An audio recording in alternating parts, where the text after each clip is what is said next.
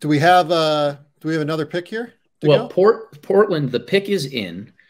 Um, okay. it, they they're on commercial right now. I'm watching some Blu-ray thing on Mario, I think. But uh, th- this is a fascinating one here, Sam, because we saw Portland pick Scoot at third, and we mentioned the the cloud hanging over everything. Do they try to rebuild? Do they try to compete now?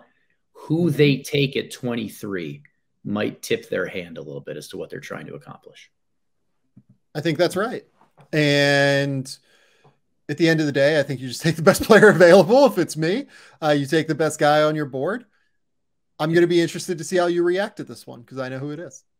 Okay. Well, the best player on my board left, now that Cam is gone, is Kris Murray, who I had at 15th.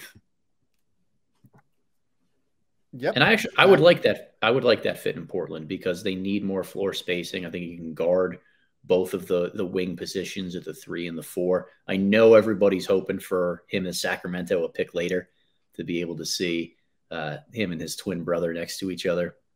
But I think he would be a very Portlandy pick here um, if, if that's the direction that they they chose to go and, and make more of a, a win now type of impact. I think he's one of the most ready to contribute three and D type of wings or even players that you would find in this rookie class. So we'll see.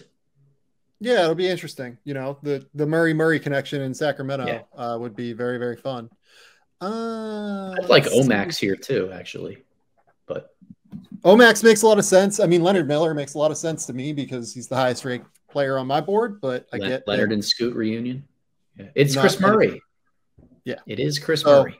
All right, great pick. I think Kris Murray, a guy that can really knock down shots. The thing that they don't weirdly have a crazy amount of especially if they don't re-sign Cam Reddish, who is a restricted free agent, is actually like bigger wings with size if Jerami Grant doesn't re-sign either.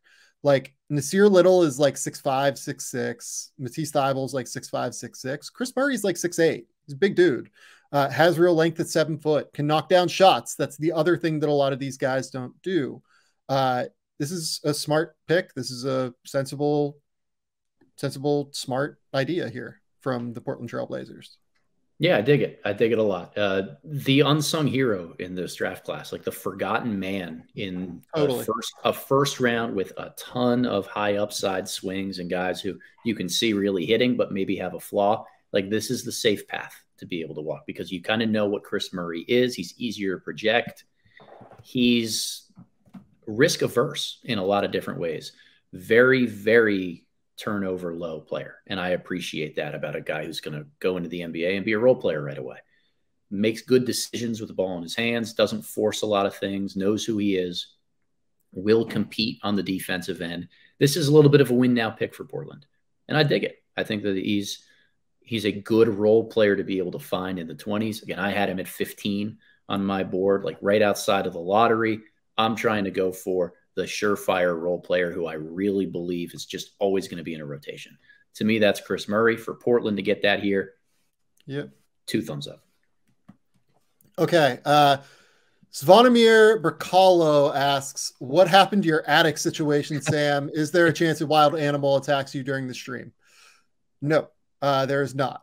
Having said that, uh, they were very active last night around 2 a.m. Uh, when I was finishing up work here uh, on draft day, I guess, in the United States.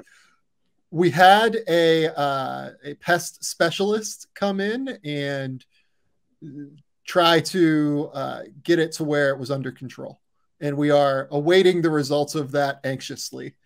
I think is the way to phrase it at this point. the the uh, adventure continues for you.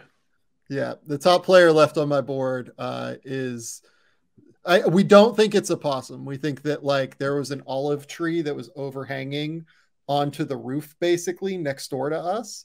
And we think that like a rat climbed into the roof, unfortunately. So not ideal. Um, okay. So I think that this is a trade for what it's worth based on what I'm being told by a team person.